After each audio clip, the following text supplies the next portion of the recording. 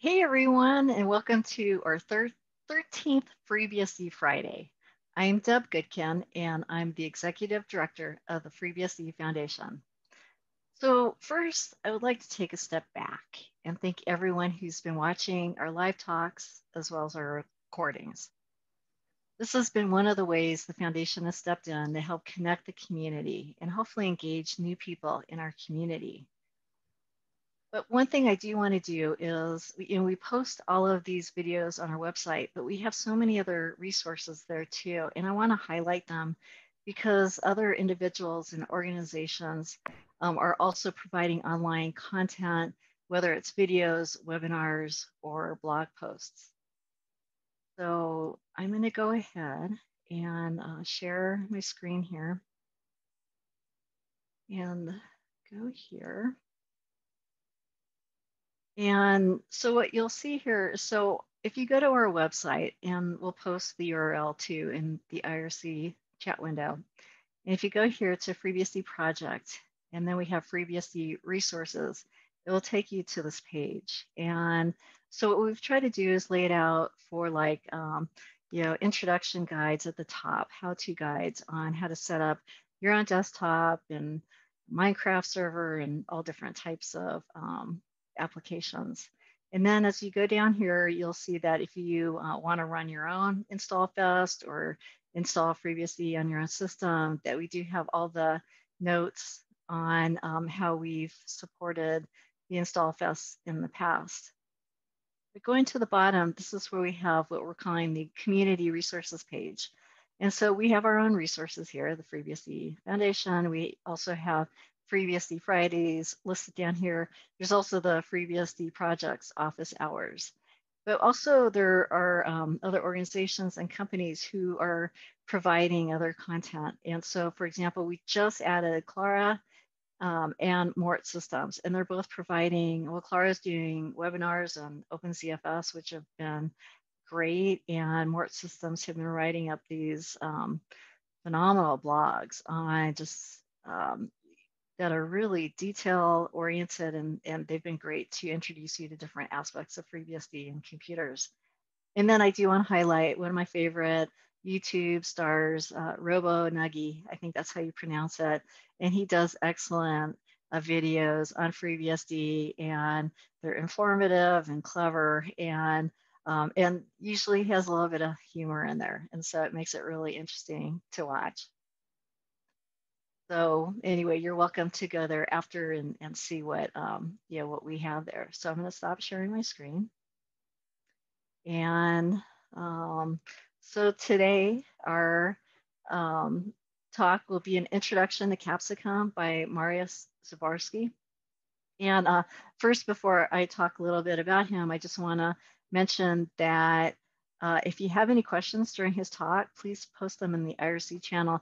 And if you remember, please put a Q before it so we know that it's a question. So let me tell you a little bit about Mariusz.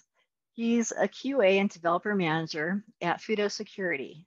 His main interests are operating system security and low-level programming. And he's been a FreeBSD committer since 2015. At Fudo Security, Mariusz is developing a solution to monitor, record, and control traffic in an IT infrastructure, the best PAM solution in the world. Mariusz's main work in this project is focused, but not limited to, creating infrastructure around Capsicum, a lightweight operating system capability and sandbox framework. In 2018, Mariusz organized the Polish BSD user group. In his free time, he enjoys blogging and will post his the URL to his blog in the IRC chat. Recently, he's joined the FreeBSD Journal editorial board. Thanks, Mariusz, for that. So now I'll hand this off to Mariusz. Thank you, Deb. Good morning, everybody. Um, I will try now to share my screen with the presentation.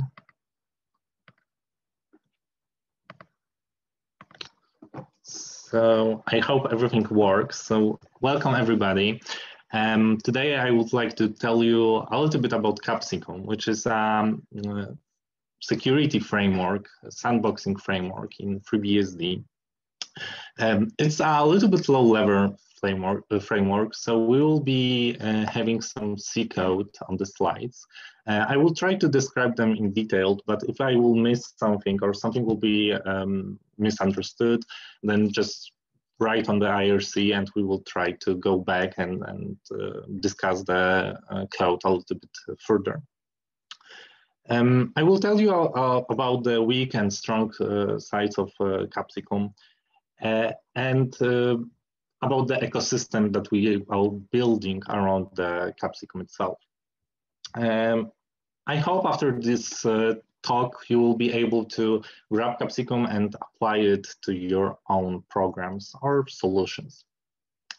So why we really need, before we will start uh, discussing the capsicum, I would like to talk a little bit about the motivation behind sandboxing in general. So we have a, lot multiple different mitigations in operating systems like ASLR, NX, uh, and so on and so on. But uh, in many cases, those mitigations are only making harder to attackers to exploit the program itself. Uh, we should think uh, a little bit more about the impacts of the uh, exploiting the application itself. So I would like to tell you a horror story uh, about a program which can do basically everything in your operating system. When it would be exploited, he can read your data, uh, he can read your uh, emails, your photos, send them over the internet, and so on and so on. So one of the programs that came in my mind, the smallest program in, in our operating systems, is basically cat. So if somebody would find a bug in cat, let's say buffer overflow or something like that, and he would be able to exploit uh, our instance of cat, he will gain access to all our data. He would gain access as a normal user can. He could send all those files I mentioned before. Uh, he could turn on the webcam or whatever he really wants to do. So there is a joke, very old joke from uh, uh, which says that if somebody would steal my laptop when I'm logged in, they can read my emails, take my money, and so on and so on, but at least they cannot install our uh, drivers uh, on my computer. And the same goes for the process.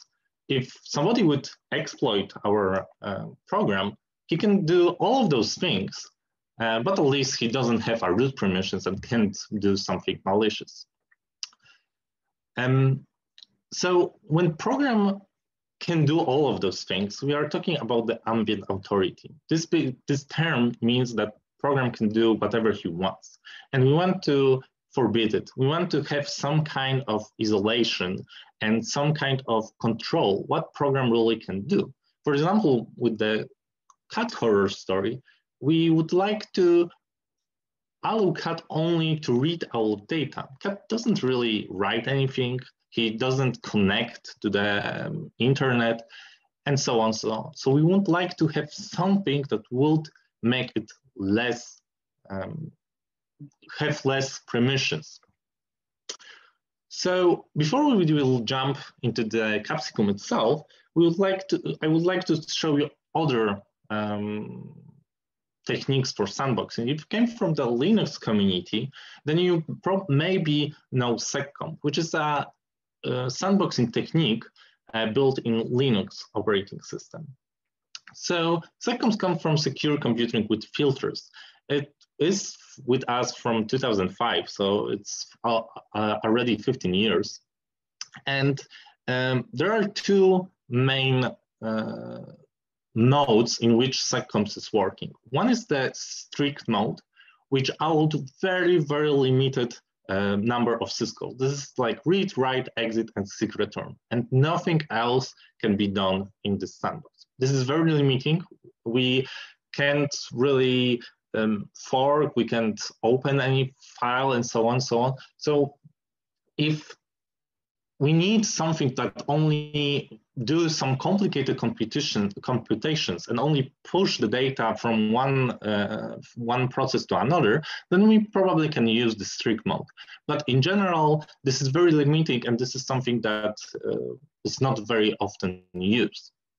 Uh, second, most of the time it's called SecComp BPF, and this is because of the second um, mode in which SecComp can work. It's called uh, mode filter mode. Um, it's using a Berkeley packet filter, and we can define filters on our syscalls which um, syscalls can be uh, executed and which not. It's very powerful tool, to be honest, because we even can filter which arguments can be passed to those syscalls.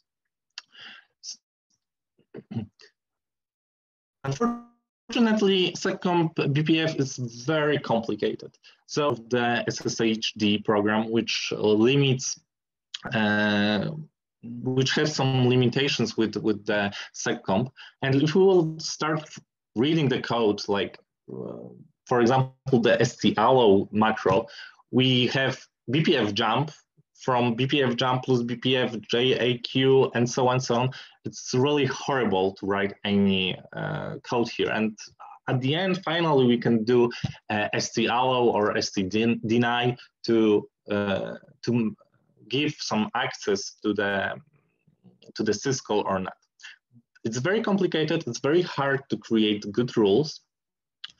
Um, unfortunately, uh, there is a lib uh, library built around SecComp which hides all of those um, logics from the user. So we can use SecComp init and add rules uh, and finally use SecComp load to, uh, to install or to, to apply all those rules that we want to do. There are some uh, even with the libseccomps, there are some um, problems with, with seccomp in general. For example, if we would use different libc versions, one which is using open and second one openat, then we have two different filters rules that we have to uh, implement.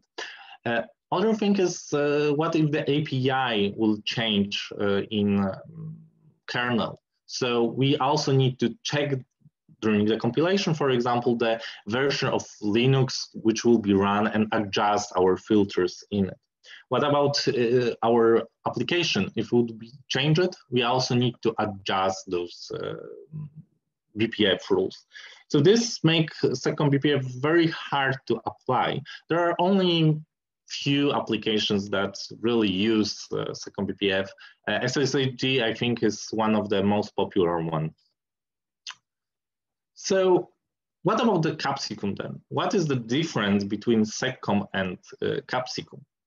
So we sec, uh, the, the um, SecComp BPF or SecComp uh, in general, we, we name, we call, we say that this is a filter-based uh, mm, sandboxing, which means that we are defining some filters and every application can have a different filters and so on.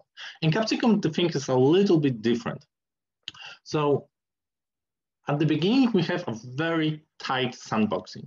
We use only one syscall called cap enter to enter this uh, capability mode or sandbox.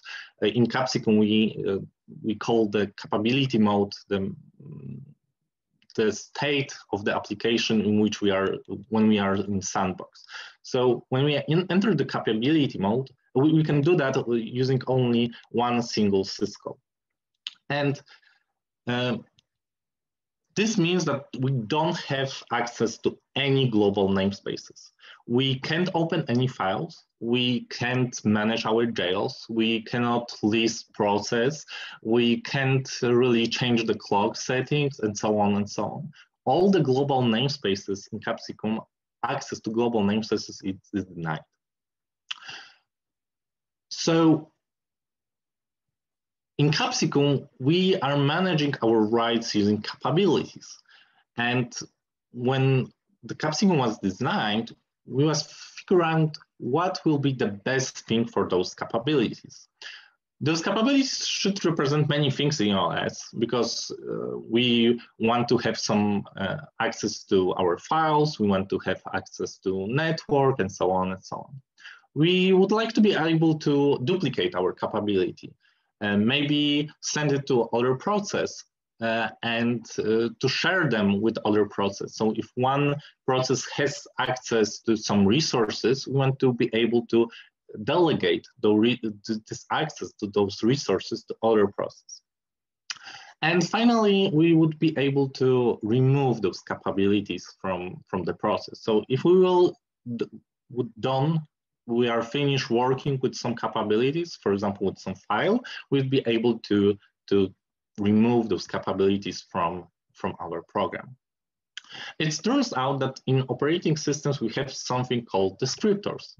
And those descriptors are uh, handles to almost everything. Almost everything in uh, operating system is represented by descriptors, sockets, uh, files. Um, you can have a uh, descriptor to, uh, to directory. We also, during the work on Capsicum, we also added a process descriptor. So you also can have a handler to, um, to process. Uh, they can be duplicated. We have a very nice interface called dup, uh, and we can duplicate this uh, interface, uh, this uh, handler. Uh, we can send them to different processes using dom Unix domain sockets. And finally, we can revoke access to those uh, to this file, to this uh, handler by just closing the descriptors to it. So in Capsicum, like I mentioned, you don't have access to any global namespaces. So all the allowed syscalls are basically the ones which are operating on those descriptors. So like you, uh, if you would go to sys/kern/capabilities.conf, there's a file which describes all the um, all the uh, syscalls that are allowed in capsicum. So as we can see here, uh, for example, we have openat, which means that we can open files in capsicum, but only if we have a descriptors, a descriptor to the directory. We can, for example, kill a process, but only if we have a descriptor, process descriptor to uh, to um, uh, to the process that we want to kill. So instead of filtering the syscalls, because basically all the processes that enter the capability mode has access to all the same syscalls. The difference is that do they have handlers, to, they have the descriptors to the, to the resource that they want to use. And going even further, uh, Capsicum introduced a capability rights which means that we can limit the descriptors itself even further. So there are like 50, around 50 different capability rights. And uh, we can say that on this particular descriptor, we can only read data. Or on this particular uh, descriptor, we can only write to this, uh, to this particular uh, descriptor. Uh, the very nice feature of Capsicum is uh, and Capsicum rights is uh, that we can um, that we can say that the descriptor is append only. So we can only write additional data to uh, this descriptor. Uh, it's, it may be very useful, for example, in um, application that is uh, logging some critical um, data. And uh, for example, in our company, we have one process that is accepting a lot of data from the network. And this very interesting target for attacker to exploit that. And all the packages that are transmitted to this process are also dumped to the file. And the descriptor, which is used to dump the data from, uh, from this process, is using this uh, capability, this, uh, this right to append only, which means if somebody would exploit this process, he could not jump and override the logs uh, of our file. So even if the process would be exploited itself, we would have a package, we would have uh, information about the exploitation in our log files. So this is very useful and very interesting features that, that we get uh, with the Capsicum. So, like I said, uh, we can't access any global namespaces in Capsicum in capability mode. So how we can really gain some capabilities? So there are two main uh, ways of doing that. First is the initialization phase, which means that we open all the um, all the resources that we need to use in our application before entering the capability mode.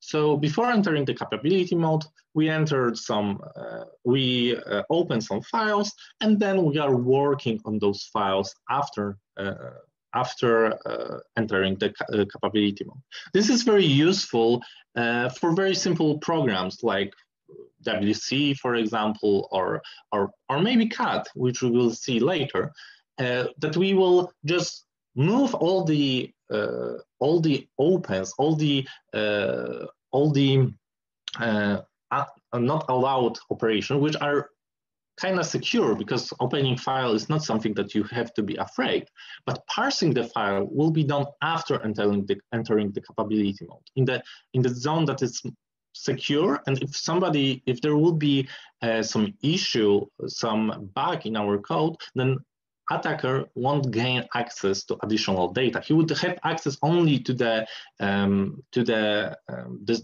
to the capabilities that the program had during the uh, during the uh, enter to the to the uh, sandbox. Um, or uh, we can, for example, open some directory and work only in particular directory. And if we would find, if somebody would find some bugs, would exploit our program, he maybe can only read this particular uh, directory, but he can't write to it. He cannot create files. And most important, he cannot create socket and send our data um, to some servers. Um, another way to gain some access is by delegation. So like I said, the, what we wanted from capabilities and what we can achieve using descriptors is that we can delegate from one process to another process. So if some privileged process have, have uh, some uh, access to some resources. For example, he have some opened uh, descriptor, we can pass to the sandboxed process and um, and allow this sandboxed process to do the most complicated stuff. So this idea uh, of delegations and creating uh, those um, privilege process is something that um, that we consider creating Casper. So Casper is our library, which allow us to uh, deduplicate our code in way that uh, deduplicate our code in way that we have some privileged process that can do some stuff for our unprivileged process. It's done by a very convenient API, which I will show you in a moment. So it's very, uh, very um, similar to the functions that it's uh, which Casper is replacing. It's um, so in case of the delegations, we uh, we have one process which is unprivileged, and then we need to implement the IP, uh, inter-process communication between privileged and unprivileged process. We need to uh, think about the limitations of this process and so on and so on. All of that is hide inside the Casper that the sandboxing is done much, much easier. The only caveat of Casper is that we have to create Casper before entering capability mode. This is something that we have to remember because otherwise the Casper processes will also be in capability mode, so they cannot be uh, really uh, privileged ones. They will be limited like our process. So how Casper works? We have our unprivileged process. We are calling cap init to create Casper. During that is also the, there is created also additional uh, lightweight process called Zygote which is basically our source of uh, process that will be created of. So next time that we will want to create some privileged process, it will be created from Zygote. Then we can open some services.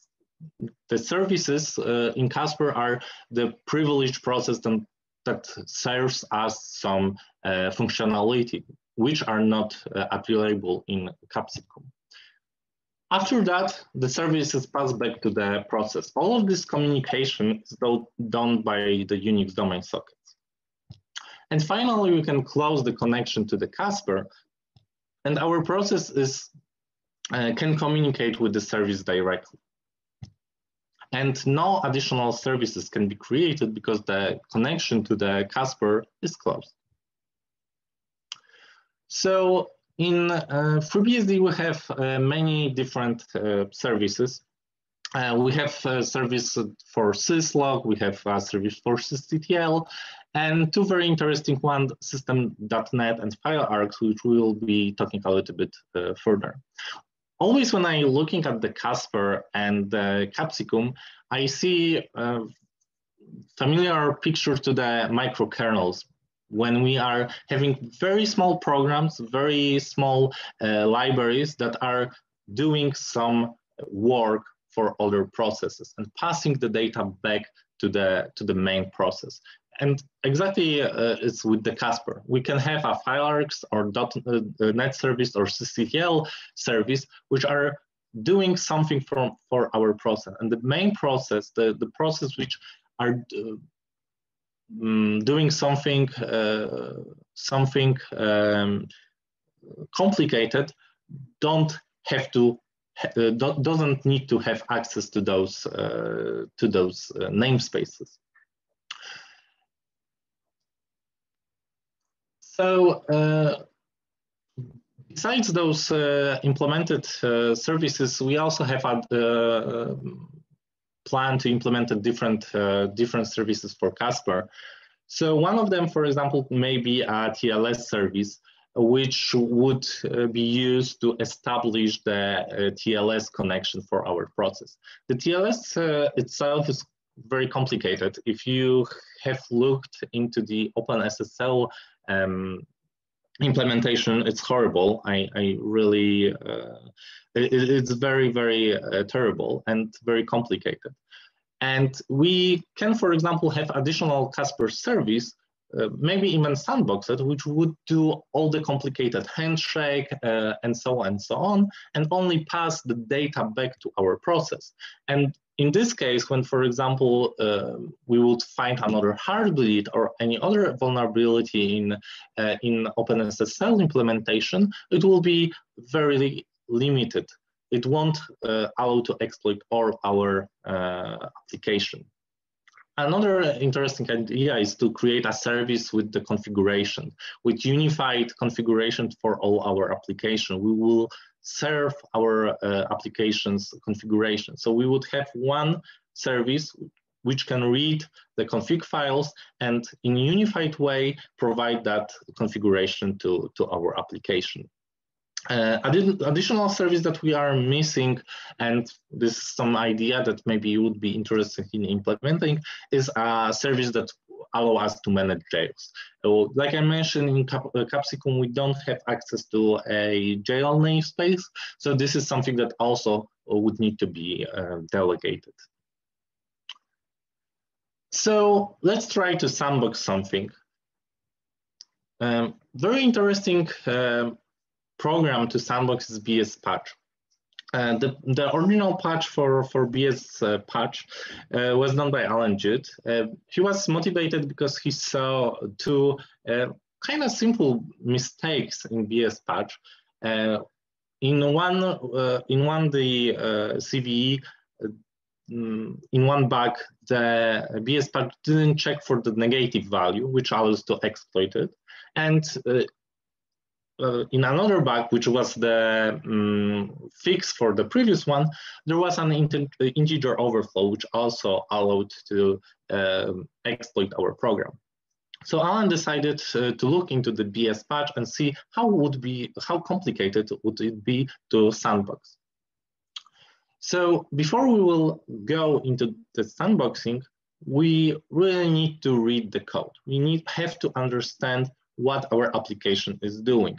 And uh, this may be time consuming, especially if the application is using some external libraries that we don't know uh, what are doing. Otherwise, when we will close the application sandbox, and this doesn't really matters in which sandbox, is in SecCom or in Capsicum or any other uh, sandboxing technique, if we will close it, it can create even less secure application.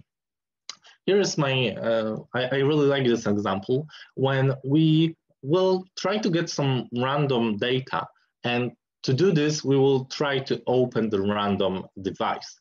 But when it it won't be uh, available for us, we will just return the, some random data uh, in not secure way. And um, this um, this maybe uh, this can be a problem because su such error can go uh, unnoticeable for a long, long time. And maybe we um, sandboxed our application. Maybe when somebody would exploit our uh, application, won't have access to all our data. But for example, if we would use this function to generate SSH key, this wouldn't be very uh, secure.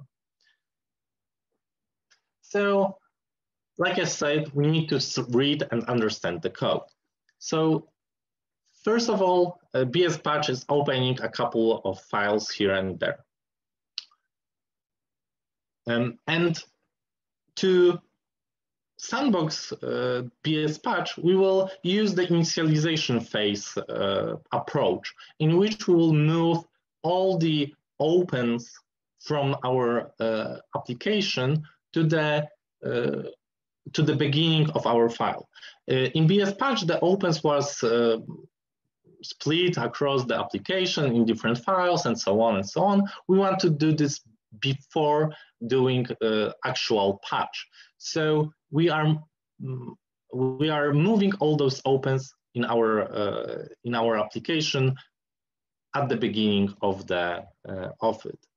And at this point, we can basically put cap enter uh, after all those open and our uh, application sandbox. That's all we really need to do for this uh, bspatch application. It wasn't very hard, but we can go even further. Uh, we can read more code and see what, how our descriptors, those files are used. So for example, here we are reading uh, some data from, from one descriptors. And here we are jumping into the in files uh, in the different uh, in the different uh, on on the different descriptor. So we can limit our our descriptors even further, and we can set the right capability rights to those descriptors. In this case, we are using capread and capseek to limit those descriptors even further. This is something really additional work because uh, at this point uh, our our uh, bspatch was sandboxed, was very secure, but we can go even further. Um, with Capsicum, we also introduced thing called Capsicum helpers, which allows us to deduplicate um, code. There are some uh, operations in Capsicum that you want to do uh, in every application. For example, limit some streams. This is something that you will do on every basically on every every application. So we can we have a, a special functions which uh, limits they are setting up the right cap, uh, capability rights on the descriptors, the most common used ones uh, on uh, the um, standard uh, standard uh, IO descriptors. we also can there are some caveats of uh, Capsicum, so that you cannot open any arbitrary files on um, when you enter the capability mode. So we also have additional two functions, cache cut pages and cache tz data, which allows you to uh, pre-cache the files that can be used later. Cut pages is basically the um, and, and native language support uh, files so that when you are printing errors, you have uh, errors in your native language. And those files have to be uh, pre-opened before entering the, the capability mode. And TZ data allows us to cache the times and uh, files uh, before entering the capability mode. We also have a cap-h enter and cap-h enter Casper, um, which we can also see in BS, bspatch that we originally use cap enter and we also check the kernel of this cap enter. So when we uh, on when we enter the uh, capability mode, in most cases it, it failed, that this means that we don't want to continue. Uh, but in case when the NOSys was returned, it means that our system was built without capsicum support. Uh, I don't know why people would do that, but you can uh, compile FreeBSD kernel without capsicum support. Uh, and uh, in this case, we don't uh, we don't want uh, user to not be able to use his programs. So in case that the syscall is not allowed, we we just we just continue without it.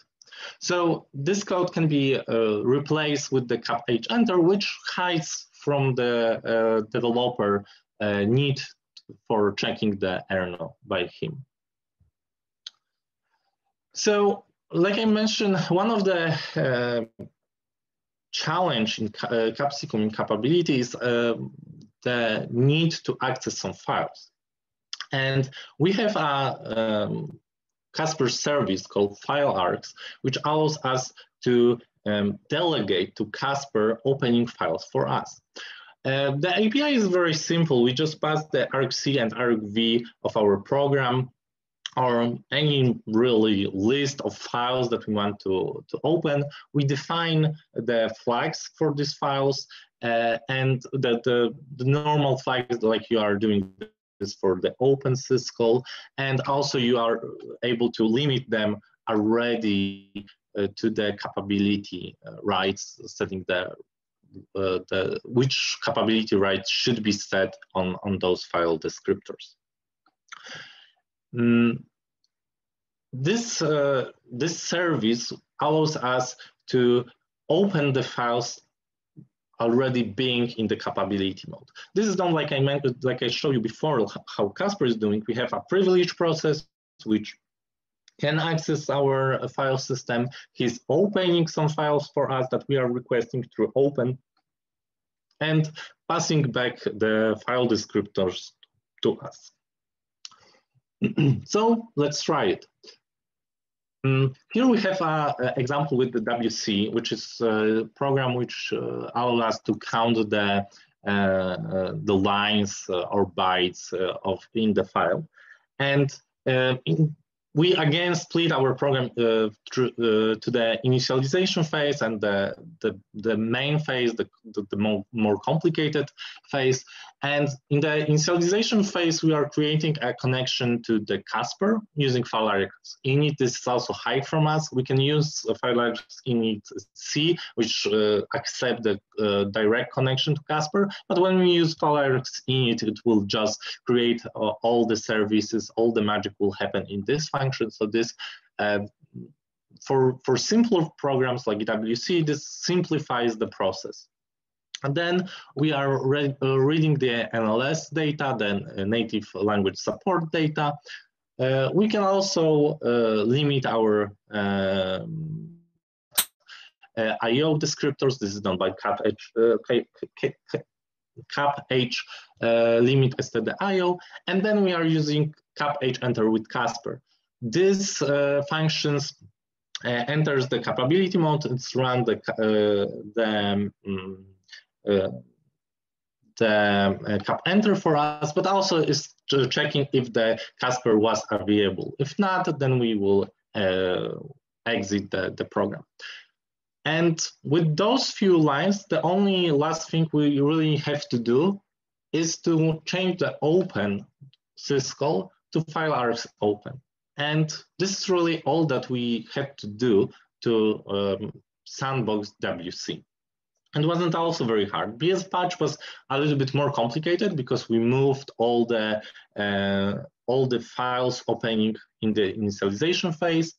In this case, we delegate this uh, opens to uh, to Casper itself. So uh, another uh, thing that is uh, challenging in in Capsicum is accessing the network. Uh, again, we don't have access to any namespace. We cannot create arbitrary connection to uh, to servers to uh, when we enter the capability mode. So we also have a service called CapNet, which allow us to create uh, service, Casper service, which we can delegate the um, creating the sockets to. Uh, the service is very interesting because it allows us to very precisely limit its needs. So we can say uh, to which exactly service we want to connect. We can uh, say which uh, DNS names should be uh, resolved uh, and even which family should be used. So with this service, we even give additional uh, protection to our application by, by limiting uh, the application to very precise uh, domains that we want to, uh, to use. A very interesting uh, mode in which uh, the service can, can work is connect DNS which means that we don't we don't define to which uh, servers we want to connect to, but we define only the uh, DNS names that we can resolve. And when Casper will resolve those names, uh, the IP addresses of those uh, of those um, names will be added to the whitelist. So this uh, allows us very easy to define uh, which service, uh, to which services we want to connect. For example, if we would like to connect to FreeBSD Foundation's um, website, we can define that uh, you can resolve only freebsdfoundation.com and uh, uh, we want to connect to DNS. And in this case, when the when we will resolve in our application in any phase, we will use, for example, get info, which is function which we use for uh, resolving the DNS name, the, uh, the service will know that you should be allowed to connect to this, uh, to this IP address. So uh, get, going back to our horror story, uh, to the CAT program. Uh, before this presentation, I noticed that the CAT is not sandboxed uh, in FreeBSD. So uh, just one hour before this presentation, I decided to do something uh, with, with that and look into the code, how, how complicated it would be to, to sandbox CAT. And it turns out that it, won't, it wouldn't be very complicated at all. So first of all, again, we are using FileArgs, uh, FileArgs uh, service. Uh, so we pass all the remaining arguments of cat to our service. So the FileArgs will serve as uh, new files each time that uh, cat will um, request for. And uh, again, we are uh, caching the NLS data and we're entering the capability mode. We know that from the previous examples. And we are changing the FileArgs, uh, the, the open to FileArgs open. And that's almost everything that we really have to do. But uh, it turns out that CAT is a little bit more complicated program than I was thinking. It's not only opening files and reading the data, but it also supports the uh, Unix domain socket. So you can connect to Unix domain socket using uh, a CAT. So we don't uh, we uh, not only need a file service, but we also need a network service. So uh, we need to define additional function, which will create us a connection to the uh, network service. We are again limiting to the resolving the names, and we are agreeing that everything that was resolved can be uh, that we can connect to. And simple as that, we just change the getaddrinfo and uh, uh, getaddrinfo and connect to, to the capability once. And that's all we really have to do. Uh, I didn't commit that yet, but I have to do some more uh, more testing, but it's looking very uh, very easy to do. So thanks to those few lines of changes, uh, we uh, sandboxed our CAT application. So Capsicum also comes with a lot of different debugging infrastructures. Uh, sandboxing is a very challenging task and uh, we have to read a lot of code. We have to understand a lot of uh, code um, of the application, but also uh, uh, of the libraries that we uh, we are using in our applications. Like I show you with the get random, maybe we are using some um, obsolete function, obsolete library, uh, which use uh, such function for, for get random. So we need to read a lot of code, we need to understand a lot of code, and uh, sometimes it's very hard. And Capsicum has a lot of debugging infrastructure, which also uh, helps us to um, on the development phase. One of those um, techniques is using ktrace. So uh, when you are trying to um, sandbox application, you can run it uh, on the ktrace. Uh, it will show you which syscalls was succeeded, what was not succeeded. In, for example, in case of our uh, get random uh, and opening the, the random uh, device, it would show us that some open was, was not allowed in capability mode. Uh, unfortunately, it's very easy to miss something because you need to grab uh, the, the uh, KDump uh, output and look for the data for the errors um, in that in that dump, and it's also hard to cover all code paths because it's maybe some code paths are uh, paths are only used when particular uh, arguments are passed to our application. In that case, uh, we also need to have uh, um, very um, uh, very big uh, test suite that covers many different cases. If not, then we have to read the code or do a lot of testing manually by ourselves. So this is an example of our uh, get random. And uh, when we was trying to do open, it was translated to openat. This is uh, something that um, very common those days, and we was not uh, able to uh, do open uh, because we entered already into the capability mode. So this syscall was not uh, not uh, allowed. the syscall can be can be um, denied because from two two reasons. One can be that we don't have capability to it. So for example, if we are trying to open some file uh, and we are using uh, relative or absolute path and we are not using uh, a um, uh, directory descriptors to open it, it means that uh, in this case that the um, syscall can be denied or when we don't have right permissions on, on those descriptors. Another uh, very interesting uh, facility which we can use to, um, to test our applications is uh, setting the sysctl kern trap inode cap uh, to uh, setting this uh, this sysctl will send kernel will send the um, signal to our application each time that, that something uh, was happening in capability mode that was not allowed in. Uh, this allows us uh, to uh, this uh, creates us a core dump so we can uh, analyze the the um, the core dump under the GDB or LLDB or any other debugger that you that you like.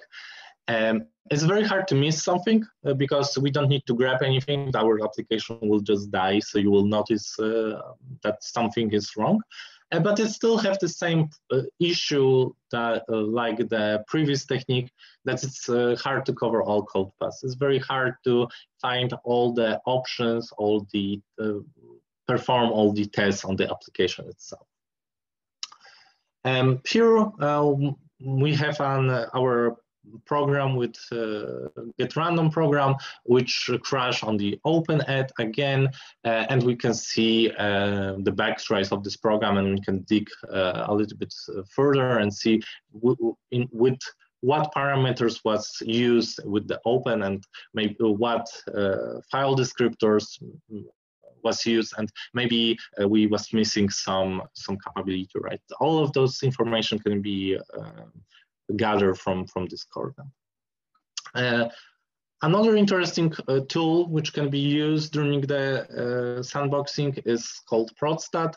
Uh, if we will call procstat with the um, F options, it will show us all the uh, descriptors opened by the by the process, and we also can see what capabilities was are set on the, the descriptors. So in this case, we are uh, using, uh, we are um, investigating the dhclient.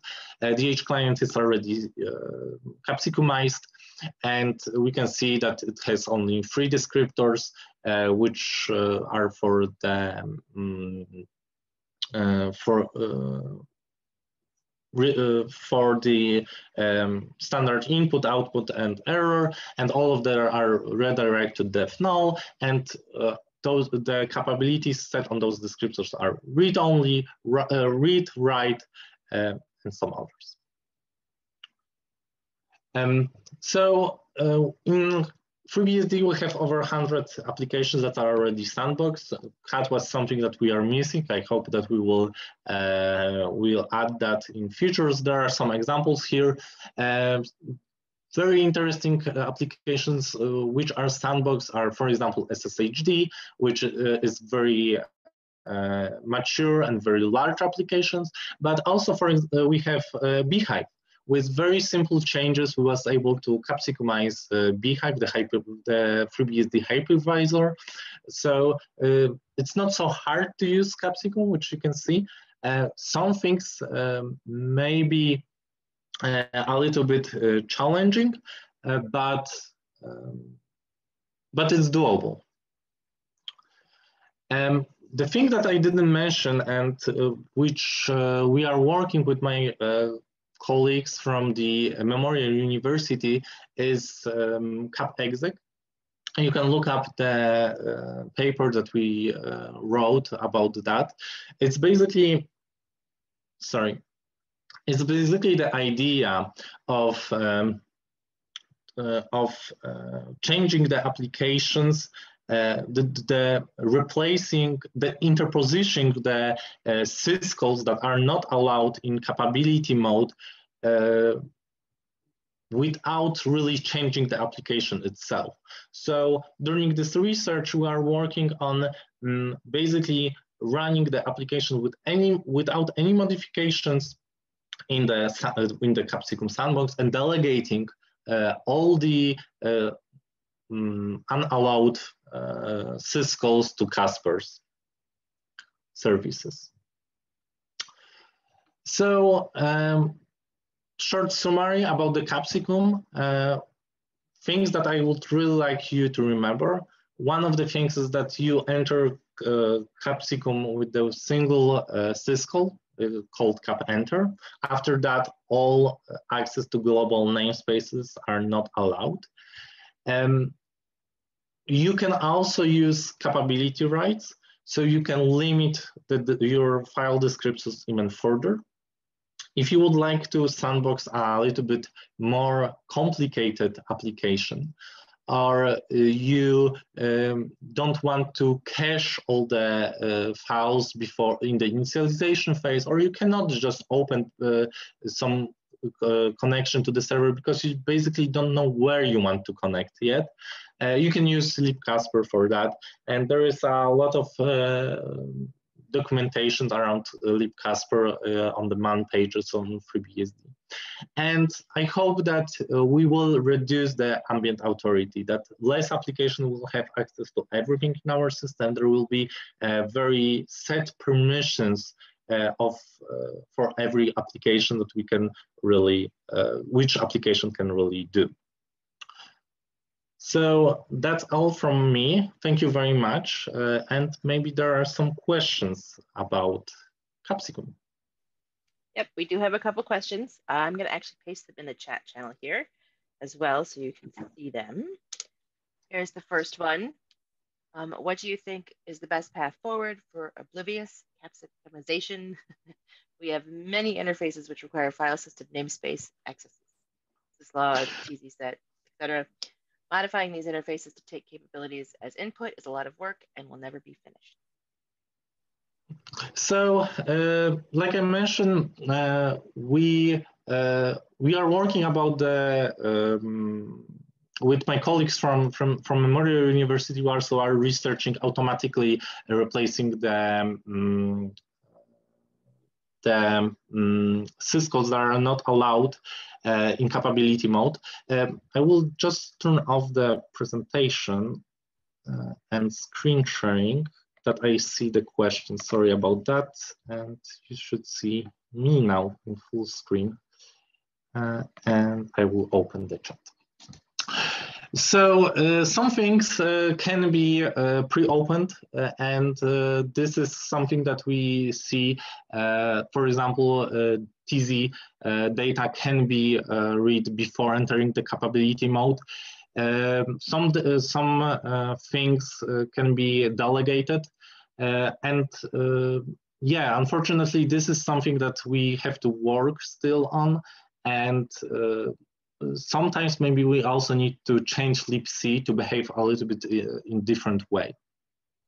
So uh, it's, it is a lot of work, but thanks to that, uh, we also gain um, very tight sandboxing. In case of, for example, SecComp, I didn't mention that uh, before, but in case of uh, SecComp, uh, if you will have some set of rights. For example, you can open arbitrary files and uh, you can uh, open arbitrary uh, connections uh, to the internet. This basically means that you don't have any sandboxing because you can read arbitrary data and send them over the application. So you have to be very close.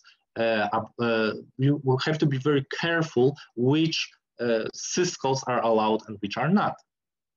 in case of the capsicum, uh, we are building the whole ecosystem in the way that it's hard to make mistakes. Uh, it's hard to, after the entering the capability mode, it's hard to do something fishy. You have some interfaces like with the Casper and so on, which allow you some access to the to the um, uh, to the namespace. But we are encourage you very very strongly to uh, to limit those uh, access even further. So for example, if you are having, uh, in the CAT example, if you're having networking and uh, file, uh, uh, file systems namespace access, you can only open local uh, sockets and you can only read the data from the set rules.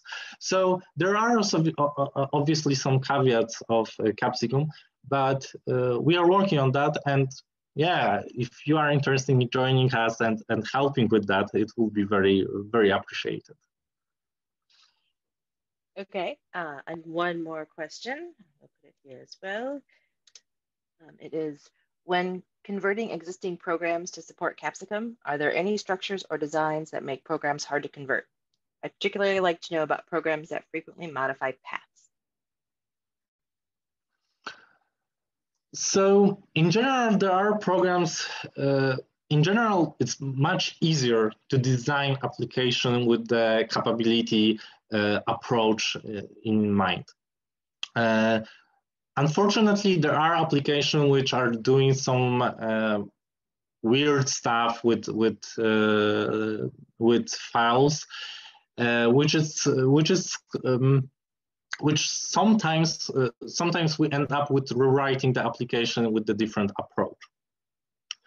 Uh, if you're uh, uh with the modifying the paths, you mean uh, about the creating the new uh, directories, or you mean having some um, I'm, I'm not sure I, I uh, follow really your your question because um, in general, if you have a descriptor or file description to the directory, you can do whatever you want in this particular directory. You can create files, you can open the files, you can uh, do whatever you want if you have capabilities to that uh, uh, to this um, directory. So uh, managing the, the, the paths itself, it's not very hard. Uh, if you want to open arbitrary files or you want to open uh, a lot of files from different directories, there are two approaches. One is to pre-open all the files, which is something kind of complicated. You are limited by the, sorry, you are limited by the operating system, how many uh, file descriptors you can open and so on and so on. This is something that uh, fileargs is very useful. Uh, you just, like as shown on the slides, you just open, uh, you just uh, pass the arguments, the, the, the, list of the files you want to open to file fileargs and then replace the opened with the file fileargs and that's all you have to do really. So if you want to clarify more, then, uh, or you have any particular idea uh, in mind, then just please clarify.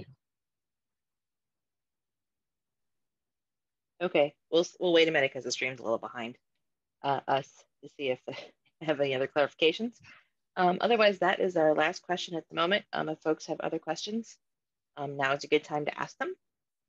We'll just hang here for a second and see if anything else pops up.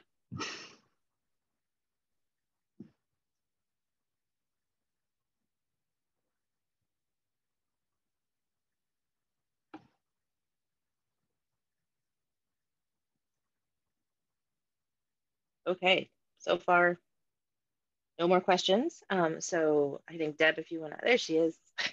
Hello. okay, we'll probably get some more now. We will. Um, That's usually what happens. well, thank you for that talk. That was really interesting. I really didn't understand Capsicum before. Um, I feel like I understand a little bit more now. Uh, not that I do any type of kernel programming. Um, so anyway, thank you so much for uh, thank you for the invitation. It was very uh, a pleasure to be here with you. Yeah, thank you. And it's and it's nice to see you too. It's been a long time. Yes, that's so, true. That's true. hopefully, hopefully, maybe you know, I am hoping EuroBSDCon. So we'll see. Um, yeah. See how next Unfor year goes. Unfortunately, COVID um, uh, complicate a lot of uh, our plans for this year. So I hope the next year will be much, uh, much better. We hope we hope. So thank you again. And um, so next week we will have our last talk for the year. And uh, that will be an introduction to documentation by Sergio Carlavilla. I'm not sure if I pronounced his last name right, but um, but anyway, he will be talking about documentation. And yes, you got that right. It will be in a week. So we changed up these uh, last two talks just a little bit. And um, so that'll be the last one for the year. You can always catch up on all of our talks um, on our website and um, everything's been recorded and then we will start up again. We don't have a schedule yet, but we will be uh, starting up the talk series next year, uh, probably mid-month, probably mid to the end of the month to give us some time to put that together again. So anyway, so thank you and bye. See you in a week.